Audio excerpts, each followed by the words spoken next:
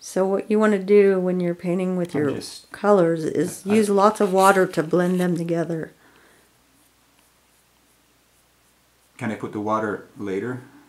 You can, but um, it's not going to move the dye around so much after it's dry. So you want to work the blending when it's wet with the water. So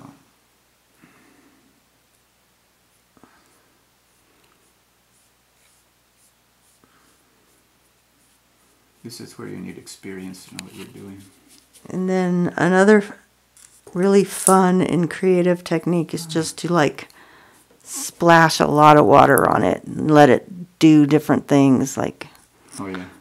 I'm I'm a splasher. Silk is one of those things it's fun to do splashing.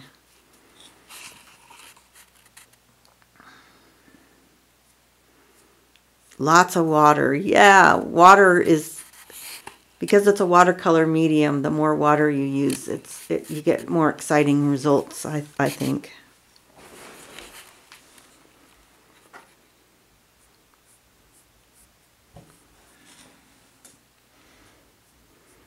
And then you might want to start throwing on some some salt crystals because the technique works when the dye is wet. Yeah,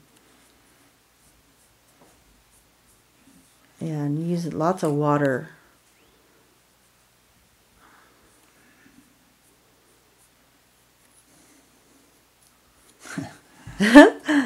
Yeah. Boom. Even like just fling it with water and it'll start to just create itself, sort of, so to speak. So far, it's looking really cool.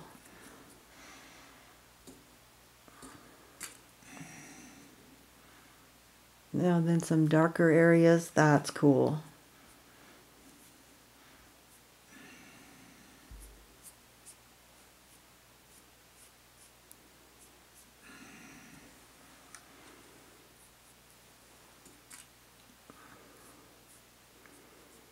So at this point, I would throw on some salt if you want to do salt technique Mm-hmm.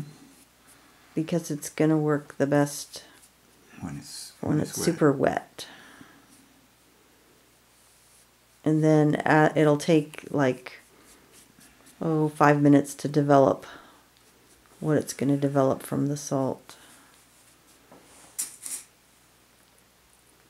Yeah, just random like that. That's great. Not too much, not too little. That's kind of good. Wow, right on. I like the the drama of the darker colors. Yeah.